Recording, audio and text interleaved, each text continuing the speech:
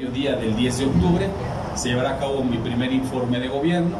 Estarán invitadas aproximadamente unas 900 personas eh, para poderlo presenciar y bueno, pues estarán convocados eh, empresarios, ¿sí? medios de comunicación, ustedes también son invitados especiales, eh, líderes sindicales, los regidores por supuesto me estarán acompañando, como ya lo comenté también, le he hecho la invitación al gobernador del estado, diputados locales, diputados federales, ¿sí? pues personas representativas también de nuestro municipio, ¿sí? líderes, este, como ya lo comenté, sindicales, líderes de organizaciones también populares, presidentes de nuestras juntas auxiliares, en donde pues haré un corte de caja de este informe de resultados que estaremos dando del primer año de trabajo. ¿Dónde va a ser?